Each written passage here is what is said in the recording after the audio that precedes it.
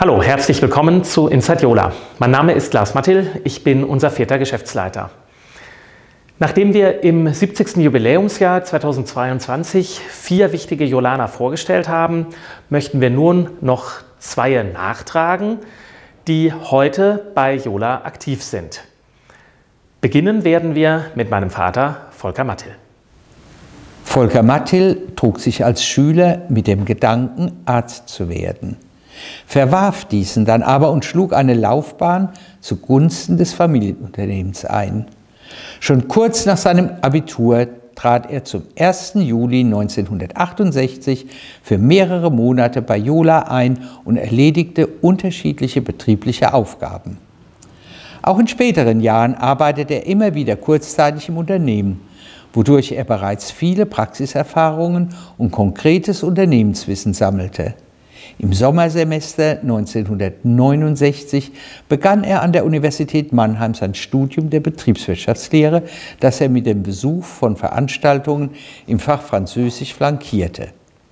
Seine Mitgliedschaft im Weinheimer Chor Renonicaria prägte sowohl seine organisatorischen Fähigkeiten als auch seine Persönlichkeit. Nach seinem Abschluss als Diplomkaufmann war er ab dem 1. November 1973 ununterbrochen bei Jula tätig. Dort war er zunächst der Mini neben seinem Vater Senior und Bruder Junior. Durch intensive Verkaufs- und Marketingaktionen erhöhten sein Bruder und er im Laufe der folgenden beiden Jahrzehnten den Umsatz um ein Vielfaches.